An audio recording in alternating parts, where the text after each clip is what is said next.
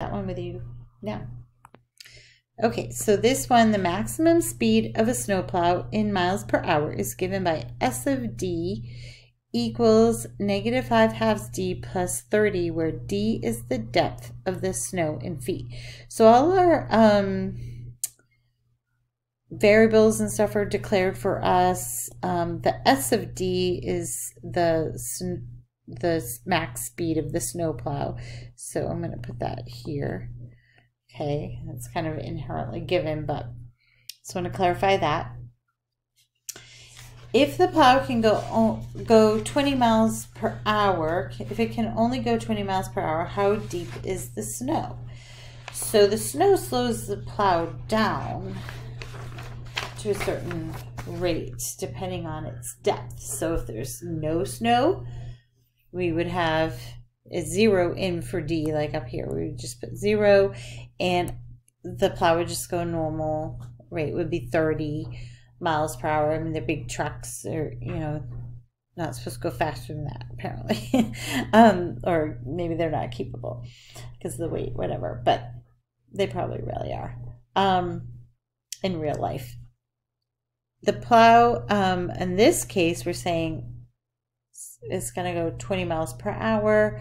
So can we figure out what the depth might be?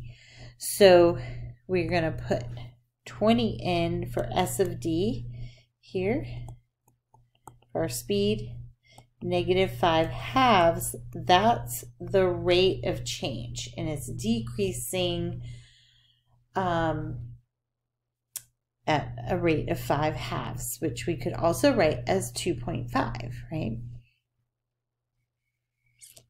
And then we have um, our plus 30. So if we go ahead and solve that out, we would subtract 30 from both sides. Right? And then we would get 10. I'm just to write it up here. 10 equals um, negative, or it's negative 10 negative 5 halves d, multiply both sides by the reciprocal, negative 2 fifths. So then we get negative 2 in there. So we get um, negative 4 equals d, um,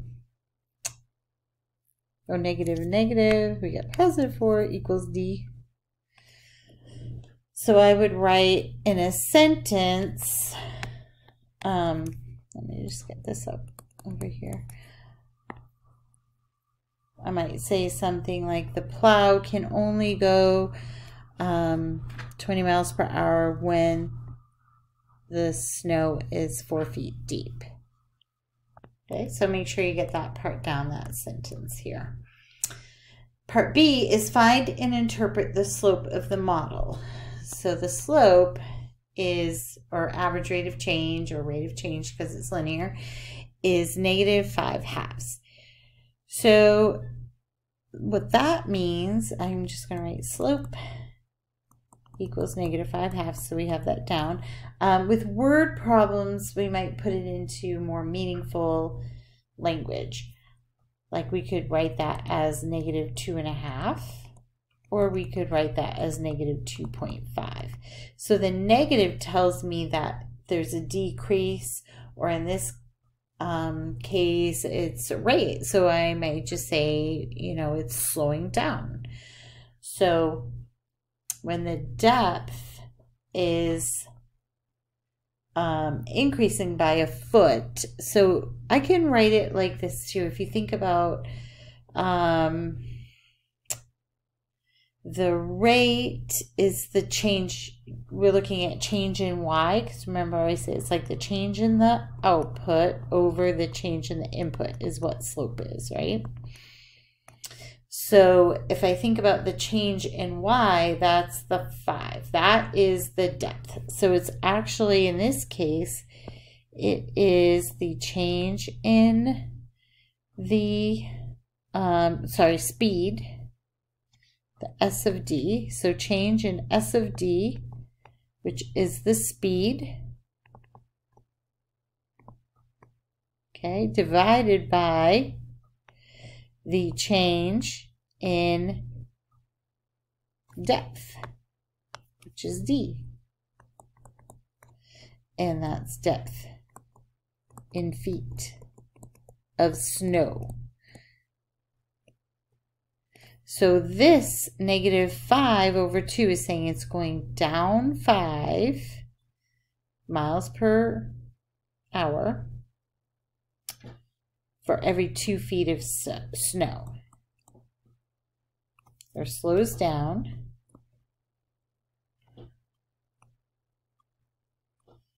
Five miles per hour per two feet increase in snow.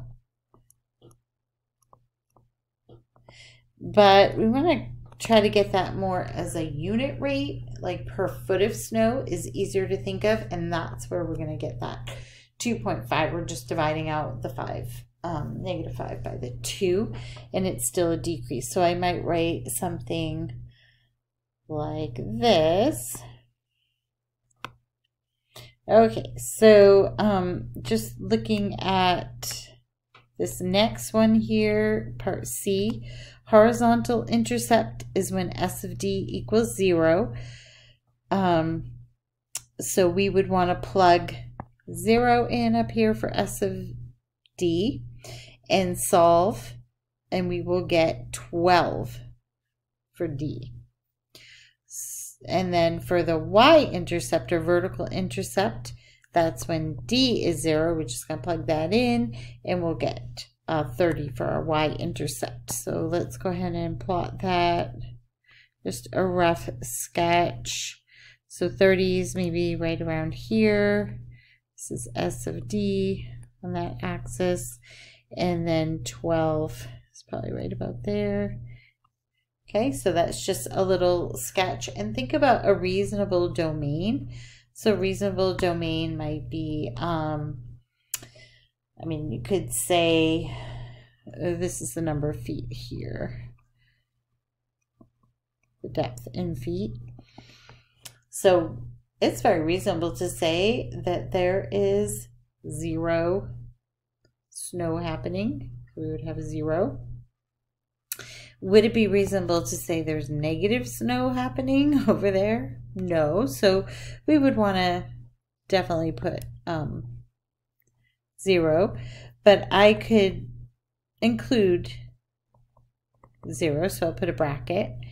And then all the way up to when the plow cocks out, and I'm not going to go any further, it wouldn't make sense. So 12 is as far as I'm going to go for the depth. After that, the plow doesn't work, so it doesn't make sense to the problem. So our domain here is 0, to 12, including 0 and 12. So I hope that helps clarify and to go a little bit slower for you.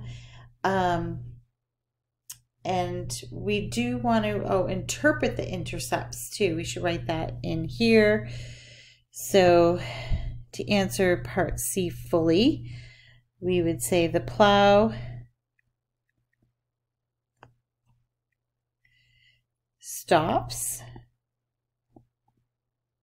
when there's 12 feet of snow on the ground. Oops. Um, the plow travels at um, 30 miles per hour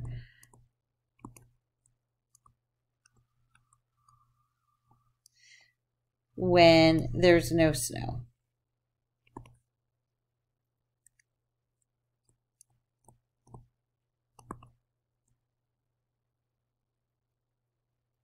Or some variation on that.